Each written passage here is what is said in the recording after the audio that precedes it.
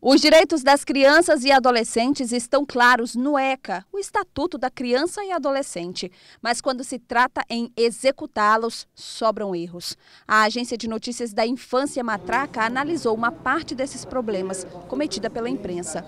É a pesquisa Criança em Pauta. Na terceira edição, a pesquisa faz um monitoramento das temáticas relacionadas a crianças e adolescentes nos principais impressos do Maranhão.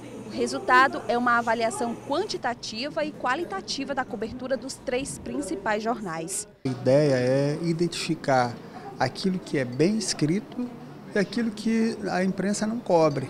E que muitas vezes são pautas importantes para o desenvolvimento da infância e adolescência no Estado.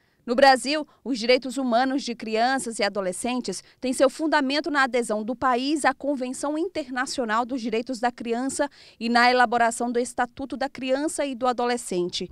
Esses dois marcos teóricos e jurídicos, entretanto, por si só, não conseguiram garantir nem o respeito aos direitos, nem o conhecimento da maioria da população sobre eles.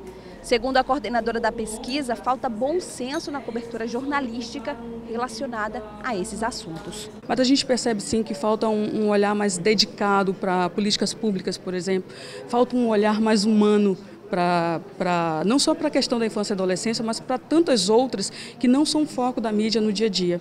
E por que, que isso é importante? Porque todo mundo se pauta pela mídia.